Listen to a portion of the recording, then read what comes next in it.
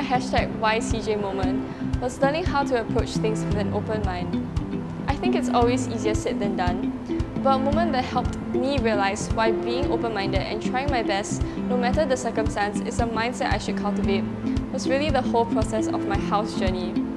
Being a sports leader required me to step out of my comfort zone and to be more of an extrovert to people I did not even know. I think that was a challenge I really had to conquer, and approaching this challenge with an open mind has helped me to overcome it and acknowledge myself.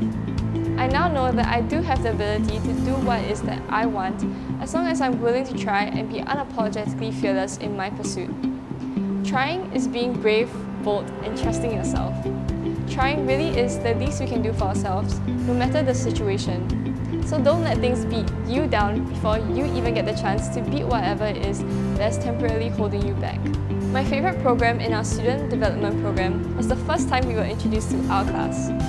I remember vividly introducing myself to everyone using this paper plate and going around in a circle listening to everyone introduce themselves.